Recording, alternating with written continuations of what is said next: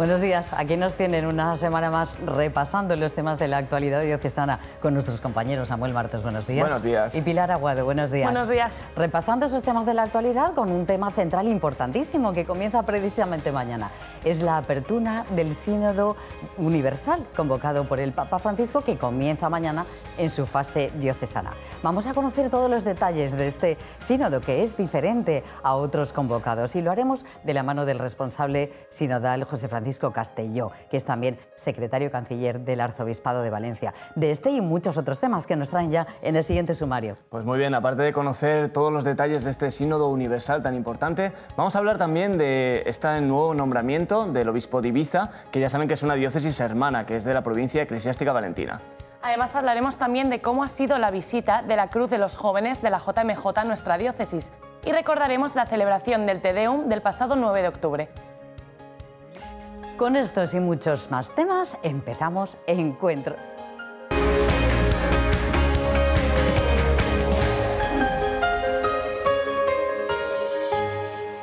Como les decimos, mañana precisamente comienza ese sínodo universal en la fase diocesana. Lo celebraremos en la Catedral de Valencia a las 12 de la mañana, que presidirá el cardenal Antonio Cañizales. Vamos a conocer más datos, Samuel. Sí, el Papa Francisco pidió en la apertura del sínodo una participación auténtica, una participación real de todo el pueblo de Dios, para afrontar estos nuevos retos que tiene la Iglesia y evitar también blindarnos en las certezas y en las soluciones del pasado, porque como muy bien señaló el pontífice, no puede haber soluciones viejas para problemas nuevos. José Francisco Castelló es responsable sinodal en nuestra diócesis y nos va a contar estos detalles de este nuevo sínodo universal.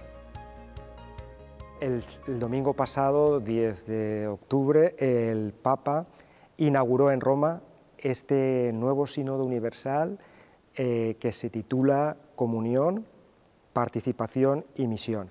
Y la novedad de este sínodo universal es que si antes el sínodo tenía lugar por continentes o a nivel de toda la Iglesia Universal, pero exclusivamente los obispos y, reunidos en Roma, pues ahora va a haber eh, tres fases. Una fase diocesana, otra fase continental y luego la fase ya propiamente universal. Entonces, el próximo domingo, eh, todas las iglesias particulares de todo el orbe católico van a inaugurar lo que es propiamente la fase sinodal. Aquí en la diócesis de Valencia, el señor cardenal, el domingo en la catedral, el 17 de octubre a las 12 horas, inaugurará la fase diocesana de este sínodo universal. De esta forma se da una primera fase de escucha diocesana sobre una serie de preguntas propuestas para ser tratadas en diálogo y discernimientos en parroquias, movimientos laicales, escuelas y universidades, además de congregaciones religiosas, comunidades cristianas de barrio y grupos de acción social y movimientos ecuménicos, entre otros.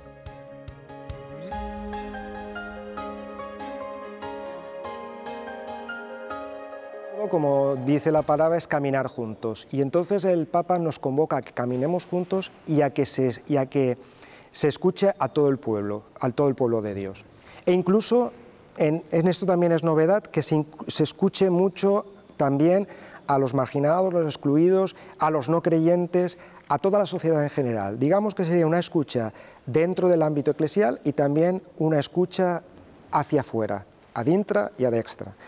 Eh, entonces, para eso, para, lograr este objetivo, eh, desde Roma se han previsto como 10 núcleos temáticos eh, y cada núcleo temático pues, va con adjunto una serie de preguntas para que prácticamente se abarquen todos los temas, el ecumenismo, el diálogo interreligioso, eh, la misión, eh, qué experiencia de caminar juntos tiene cada iglesia particular, el papel de los laicos en la sociedad, en la política, en la cultura, es decir, todos, la vida consagrada, la Eucaristía, la liturgia, todos los temas, agrupados en diez núcleos temáticos. Y esos núcleos temáticos son los que en la fase diocesana tiene que abordar una serie de de consejos y organismos que el propio documento hace referencia a ellos como organismos sinodales y que ya están de hecho creados en la diócesis. Con este, este, planteamiento vamos a intentar dar respuesta de la mejor manera posible a lo que nos pide el Papa a nuestra Iglesia de Valencia. Eh, ¿Qué pasa? Que sí que es verdad que hay un, límite de tiempo, porque eh, la Santa Sede nos ha limitado esta fase diocesana que empieza en octubre y, el, y a principios de abril tiene que concluir. Nosotros, al final de todo el proceso que vamos a llevar a cabo en la diócesis, vamos a tener que ofrecer a la conferencia episcopal un documento de 10 páginas que será la aportación nuestra a esta, a esta fase diocesana pues todas las diócesis han sido invitadas a entregar sus contribuciones a la propia conferencia episcopal. Y así de este modo, las conferencias episcopales podrán entregar, a su vez, una síntesis al sínodo de los obispos. Este material será utilizado como base para la elaboración de los documentos de trabajo de la Asamblea del Sínodo de los Obispos, que tendrá lugar en octubre de 2023. Este mismo lunes se, reunirá ya el presidido por el arzobispo el Consejo de Gobierno y el Consejo Episcopal. A partir de ahí, las cuestiones que se plantean para el trabajo en esta fase diocesana serán abordadas en cada uno de los organismos diocesanos asesores del arzobispo, especialmente el Consejo Presbiteral, el Consejo Diocesano de Pastoral y el Consejo Diocesano para la Vida Consagrada. Lo que sí que quiere el señor arzobispo en todo caso es eh, que nosotros como parte de la Iglesia Católica y la Iglesia Católica camina en Valencia, que estamos en plena comunión con el Papa Francisco y que vamos a, a, secundar esta iniciativa del Papa Francisco y nos pide a todos que con ilusión, con alegría participemos en esta iniciativa del Santo Padre.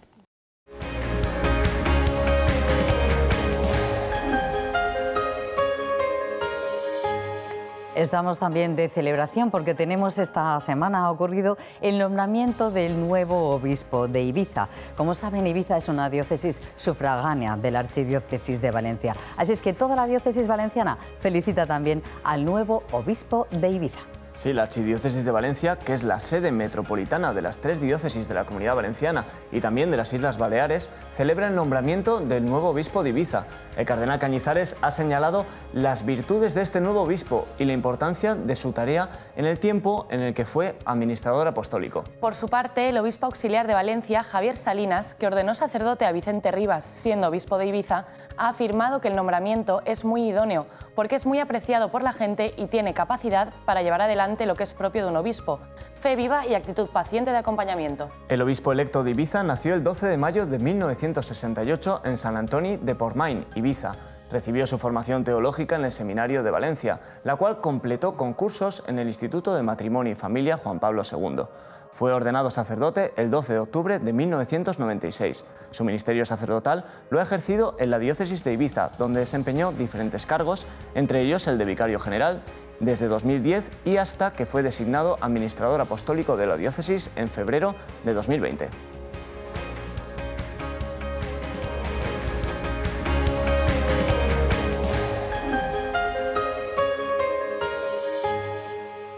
Recordarán que hemos celebrado también los actos del 9 de octubre que conmemoran la entrada de Jaume I en Valencia y, por supuesto, la dedicación y consagración de la Santa Iglesia Catedral que sienta los cimientos de la Iglesia Católica.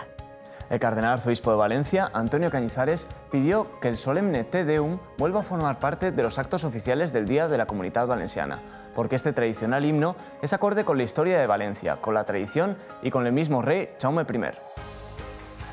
¿Por qué me pregunto? ¿La oficialidad olvida el Tedeum en acuerdo con la historia, la tradición y el rey de Jaime? No lo entiendo por Valencia, porque esta es su historia, esta es Valencia. Esta, esta, el Tedeum que aquí celebramos. Acción de gracias por lo que somos. Por eso, ojalá Dios nos conceda que la oficialidad rectifique y cambie. Tras la celebración de la misa capitular, el cardenal salió a la Puerta de los Hierros a recibir la señora de Lorrat Penat para la celebración del solemne Te Deum. La señora entró en procesión a la catedral con los aplausos de los fieles que estaban congregados. Con la señora ya en el altar, cerca de 30 cantores de la catedralicia interpretaron el himno de acción de gracias bajo la dirección de Luis Garrido. Las campanas de la catedral sonaron al principio del Te Deum, al final y a las 12 del mediodía. Igualmente, el cardenal Cañizares, junto al presidente de l'Orrat Penat, Enrique Esteve, y la rechina dels Jocs Florals, María Chaqués, depositaron una corona de flores en la tumba de Ausias March, como homenaje a la lengua valenciana. Finalizado el Tedeum, el cardenal señaló que Valencia entera ha entrado con la señera en esta catedral, porque la señera nos representa a todos. El profesor Francisco Ballester Olmos nos cuenta el origen cristiano del Día de la Comunidad Valenciana, en el que se conmemora la dedicación y consagración de la Catedral de Valencia. El 9 de octubre responde a, la expresión de la gratitud de Valencia al cielo por haberse cristianizado estas tierras y haberse eh, librado de las manos de los infieles, según dice eh, el rey don Jaime en su crónica. En los libros de actas del ayuntamiento, que se guardan en el archivo municipal, hay eh, innumerables actas, innumerables cridas que hablan de esta fiesta a lo largo de todos estos siglos y es el Consell de la ciudad el que determina eh, la celebración de estas fiestas, las organiza y les da el formato eh, correspondiente.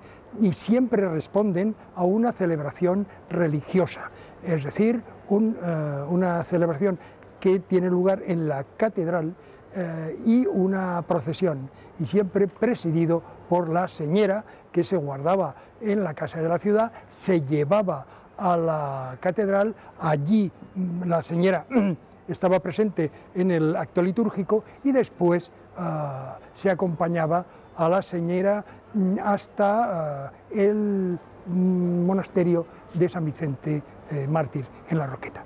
Finales de septiembre se produce la capitulación, una capitulación pacífica. Valencia no fue tomada por las armas,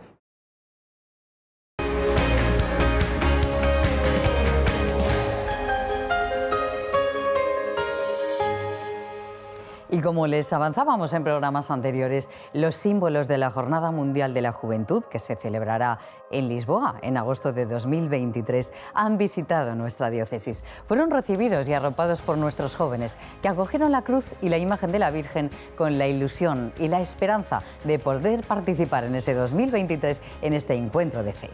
La cruz y el icono de Nuestra Señora Salus Populi Romani llegaron a Sagunto procedentes de la diócesis de Barcelona fueron recibidas por decenas de jóvenes y por el obispo auxiliar, Monseñor Arturo Ross, en las parroquias aguntinas de Santa María y El Salvador, donde tuvo lugar un momento de oración. Desde allí fueron trasladadas al Colegio Imperial de Niños Huérfanos de San Vicente Ferrer, donde los alumnos los recibieron con camisetas de colores en representación de toda la Iglesia Universal. Además decoraron el colegio con banderas de España. Los iconos han sido portados por los mismos alumnos, precedidos por las banderas de Valencia, de España y también del Vaticano. Después de una oración, la cruz y el icono fueron llevados otra vez a la iglesia del colegio, donde tuvo lugar otro momento de oración con los colegiales internos. A continuación, fueron recibidos en el Palacio Arzobispal, desde donde se trasladaron a la catedral, donde el cardenal Cañizares presidió una Eucaristía.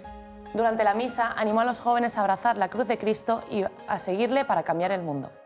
Después de la misa, la cruz y el icono de la Virgen fueron trasladados a la iglesia de San Lorenzo, donde tuvo lugar una vigilia con la participación de diferentes grupos juveniles. Animo a todos los jóvenes a que se apunten a esta peregrinación en la situación que se encuentren. El punto partida es la vida de cada uno y la llegada es Jesucristo, ahora en Lisboa y para siempre en la vida eterna. Así que ánimo y adelante. Durante el segundo día en nuestra diócesis se celebró una misa en San Lorenzo a las 9 y media de la mañana y después los símbolos de la JMJ partieron al Seminario Menor y Colegio Claret de Xátiva, donde tuvo lugar una celebración muy especial. Por la tarde fueron trasladados al Seminario Mayor La Inmaculada en Moncada, donde se celebró una vigilia y oración por las vocaciones. La jornada finalizó a las diez y media de la noche con la entrega de los símbolos de la JMJ a la diócesis de Albacete, el siguiente destino en su recorrido por España. La visita de la Cruz a España concluirá el próximo 29 de octubre en Ayamonte, desde donde cruzará la frontera hasta Portugal. Felipe Diniz, del equipo organizador de la JMJ de Lisboa, ha querido agradecer esta calurosa acogida que ha brindado Valencia a la Cruz de los Jóvenes. Primero agradecer mucho a Diócesis de, Valencia por, eh, por tener esta oportunidad de recibir los símbolos de la jornada. Yo pienso que los símbolos es una riqueza porque manifiestan nuestra fe, para que me pueda identificar con algo, como cristiano. Es una oportunidad para reforzar la fe. Estoy en decoración abierto para recibir los jóvenes del mundo para, para la jornada. Es importante para nosotros recibir todos los eh, jóvenes españoles, como también de aquí de Valencia necesitamos que esté, que esté eso. Mas primero de todo, mesmo que, tu, que todos los jóvenes no a venir a, a jornada, que estén despiertos, que es un, una jornada mundial de, de la juventud. Que todos los jóvenes conozcan la jornada, mesmo que no puedan ir a, a, a Lisboa. Mucha alegría, con mucha esperanza y con unos brazos abiertos, ¿no? Ahí sobre todo en la parroquia de Sagunto, que fue donde nos recibieron, ¿no? La verdad es que fue, fue, a ver, fue llamativo, la verdad es que ha sido una gozada, ¿no? Y estamos disfrutando pues, de esta acogida y de esta alegría, ¿no? Entre, entre los que de alguna manera son los protagonistas, ¿no? La cruz y los jóvenes. y va a pasar casi por toda la diócesis de España. Y la verdad es que está siendo esperanzador, ¿no? Ha habido una, una repercusión por parte de en los jóvenes importante, eh, han acudido, tienen ganas, tienen ilusión, tienen esperanza. La JMJ para ellos evidentemente es un momento de, de, fuerza, de vida y yo creo que es lo que se pretendía, ¿no? de alguna manera inmovilizando a los jóvenes para que después de esta situación que estamos viviendo de pandemia, muchísimos jóvenes que quieren vivir con esperanza, con prudencia, con alegría y la cruz, que significa esperanza, significa alegría, aunque es desde el sufrimiento, yo creo que es una lectura muy bonita para este momento que estamos viviendo. Venimos del sufrimiento, pero el sufrimiento nos lleva a la esperanza y la alegría. Y los jóvenes son testigos de ellos, tanto en el futuro, pero ya también hoy, en el presente.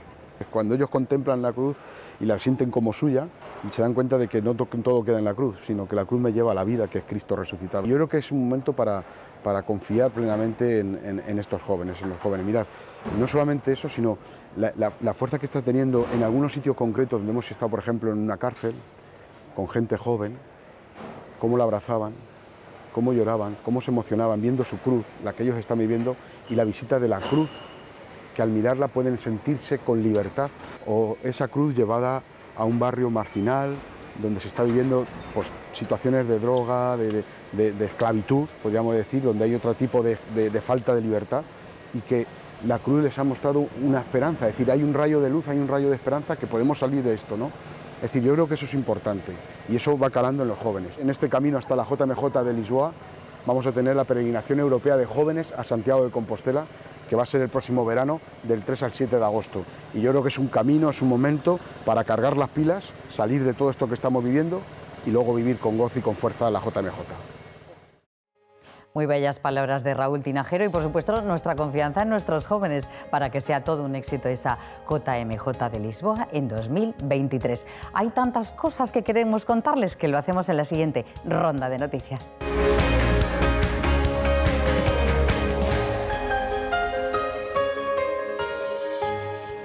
La Basílica de San Vicente Ferrer de Valencia celebró el pasado martes el centenario de su consagración con una misa solemne de pontifical presidida por el obispo auxiliar de Valencia, Monseñor Javier Salinas. Y la parroquia de Santo Tomás Apóstol y San Felipe Neri de Valencia acogió la misa de apertura de la nueva parroquia personal para la comunidad de católicos sordos en la diócesis valentina bajo la advocación de Santa María del Silencio. Y la iniciativa Iglesia por el Trabajo Decente, que en España impulsa Cáritas y la Confer y Hermandad Obrera de Acción Católica, entre otras entidades, celebraron por séptimo año consecutivo la Jornada Mundial por el Trabajo Decente, con un acto público en la Plaza de la Virgen y una vigilia de oración. La Guardia Civil conmemoró a su patrona, la Virgen del Pilar, con la celebración de una Eucaristía en la iglesia castrense de Santo Domingo.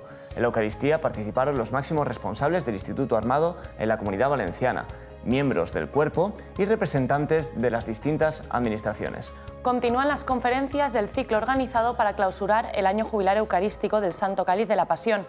Esta semana fue impartida por José Verdeguer, canónigo responsable del patrimonio artístico de la catedral, bajo el título Santo Cáliz, Veracruz y Corona de Espinas, Reliquias de la Pasión del Señor, una lectura espiritual. Pues estas y muchas más noticias ya saben que pueden verlas en archivalencia.org y en el semanario diocesano Paraula.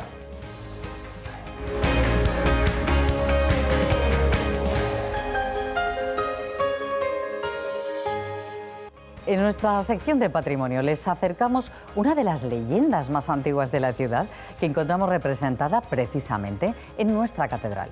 Los rostros esculpidos en piedra sobre la portada románica del templo podrían ser los retratos de los primeros moradores cristianos de la ciudad tras la Reconquista, los que, según dice la leyenda, repoblaron la ciudad tras la llegada del rey Jaume I. Esta es la portada más antigua de la catedral y todavía la conoció el rey don Jaime. Eh, se hizo todavía siendo él rey de Valencia. Es una portada románica del tardo románico muy rica, muy historiada, con muchísima filigrana, similar a otra que hay en la Catedral Vieja de Lérida, la portada dels Fillols, a otra que hay en Santa María de Agramunt, a otras que hay en Huesca, en la Catedral de Roda de Isávena, incluso en algunas de Sicilia. Y es también parecida a las de aquí en Valencia, San Vicente de la Roqueta e incluso a la del Puig, pero esta es mucho más rica que todas ellas. Sin duda es de la mano o del mismo taller, porque es muy similar a la portada dels Fillols de la Catedral Vieja de, de Lleida. Pero está hecha aquí en Valencia, porque la piedra es de canteras valencianas, de, de Godella y de Moncada y de Burjasot. La portada lo que retrata, porque está la parte de la epístola de la catedral, retrata escenas del Antiguo Testamento, del Génesis y del Éxodo. Pero tiene de peculiaridad respecto a todas las demás portadas románicas del mismo estilo, precisamente la parte de arriba, estos canecillos que normalmente son, en otros lugares, son monstruos o figuras mitológicas, y aquí son caras humanas. No solamente caras humanas, sino que son retratos de gente que ha existido realmente. Y son matrimonios, siete matrimonios, identificados perfectamente porque están los nombres del marido y de la mujer. Y eh, hay una leyenda sobre esto. La leyenda dice que serían como la representación de las 300 jóvenes eh, que vinieron a repoblar la primera repoblación de la ciudad después de la Reconquista. Y serían los primeros matrimonios que hubo aquí. Pero esta leyenda no tiene mucho fundamento. Es muy popular, pero yo creo que no tiene ningún fundamento. Yo estoy seguro que se trata de donantes, gente eh, mm, con valor económico y con eh, el deseo de, de, de contribuir a esta gran obra que era el símbolo de la nueva sociedad que nacía en Valencia después de la Reconquista.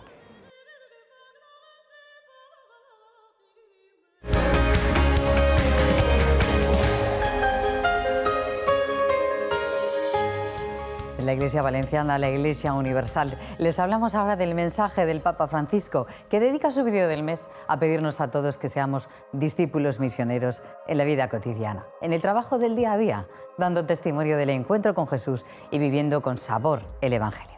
En octubre, mes en el que empieza este camino sinodal y también se celebra la Jornada Mundial de las Misiones, el Santo Padre profundiza en la naturaleza evangelizadora de la Iglesia y nos llama a todos a ser discípulos misioneros.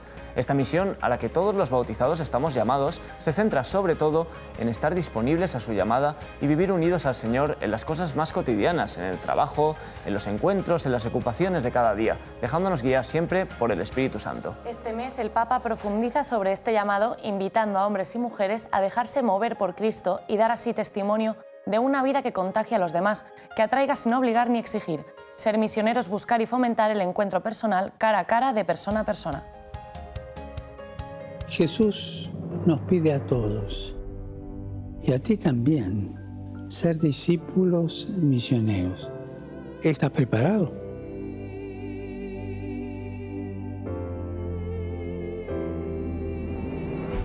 Basta con estar disponibles a su llamada y vivir unidos al Señor en las cosas más cotidianas. Trabajo, los encuentros, las ocupaciones de cada día, las casualidades de cada día, dejándonos guiar siempre por el Espíritu Santo. Si te mueve Cristo, si haces las cosas porque Cristo te guía, los demás se dan cuenta fácilmente. Y tu testimonio de vida provoca admiración. Y la admiración hace que otros se pregunten, ¿cómo es posible que esto sea así? ¿De dónde le viene a esta persona el amor con el que trata a todos, la amabilidad, el buen humor? Recordemos que la misión no es proselitismo, sino que la misión se basa en un encuentro entre personas, en el testimonio de hombres y mujeres que dicen, yo conozco a Jesús, Me gustaría que tú también lo conocieras. Hermanos y hermanas, recemos para que cada bautizado participe en la evangelización y que cada bautizado esté disponible para la misión a través de su testimonio de vida y que este testimonio de vida tenga sabor a evangelio.